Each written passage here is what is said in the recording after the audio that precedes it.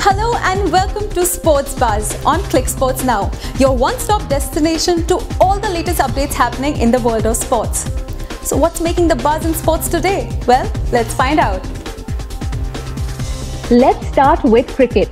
Shreyas Iyer and KL Rahul smashed rapid 50s while Virat Kohli hit a fluent 45 as India chased down 204 in only 19 overs to crush New Zealand by 6 wickets in the first of the 5-match T20 series in Auckland. This is now the third highest successful run chase for India in T20 internationals and is also the fourth time that the men in blue have successfully chased a score of 200 plus in T20 internationals. Earlier, after being put into bat, Colin Munro and Kane Williamson smashed quick-fired half-centuries as New Zealand scored an impressive 203 for 5. Faced with a massive ask, India needed Rohit Sharma and KL Rahul to get them off to a flying start.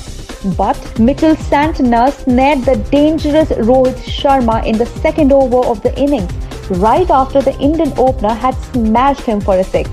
And then came the onslaught from Virat Kohli and KL Rahul. The last time India chased down a total in excess of 200 was against West Indies on December 6, 2019. And it was this same pair that had set the tone for the side. Ish Sodhi dismissed Rahul in the ninth over while Kohli felt to Tickner in the 12th over. Shivam Dube promoted up the order ahead of Manish Pandey and Ravindra Jadeja played a couple of big shots but fell to Sodhi as New Zealand saw a glimmer of hope.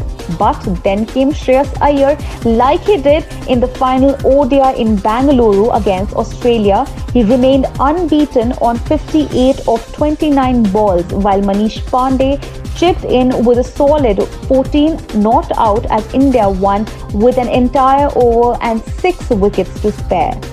And moving on to the news from Olympic boxing qualifiers. The first qualifying event for boxing at Tokyo 2020 has been cancelled due to concerns surrounding the coronavirus outbreak in Wuhan. The Chinese city was scheduled to host the Asia qualifier from 3rd to 14th February. But the local organizing committee announced on Wednesday, that is 22nd January, that they had called off the competition after nine people had been killed by the outbreak, which is believed to have started in Wuhan. The IOC Boxing Task Force has announced that the Asian Tokyo 2020 boxing qualifying event will now be held in Amman, Jordan from 3rd to 11th March 2020. This decision means that the inaugural Tokyo 2020 qualifying event will now be the Africa qualifier in Dakar, Senegal from 20th to 29th February. Meanwhile, the National Anti-Doping Agency has started conducting dope tests on the athletes who are probables for the Tokyo Olympic 2020.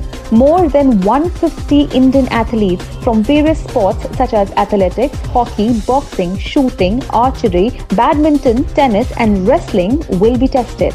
Earlier, weightlifter Sarbjeet Kaur had faced a four-year ban for doping violations. The anti-doping disciplinary panel had found Kaur guilty of anti-doping rule violation. She had been imposed a penalty of ineligibility for a period of four years. Kaur had tested positive for intake of a prohibited non-specified substance. Her dope test sample was collected during the 34th Women's Senior National Weightlifting Championship held at Vishakhapatnam by NADA Dope Control Officer. Shifting our focus onto the NBA, reigning NBA MVP Giannis Antetokounmpo and LeBron James were named captains for the upcoming NBA All-Star Game.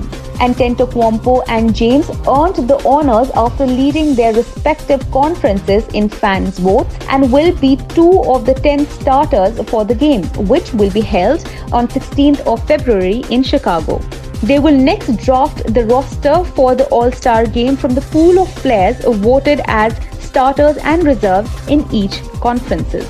The East starter pool also includes Kemba Walker, Trae Young, Pascal Siakam, and Joel Embiid, while the West starter pool includes James Harden, Anthony Davis, Kawhi Leonard, and Luka Doncic.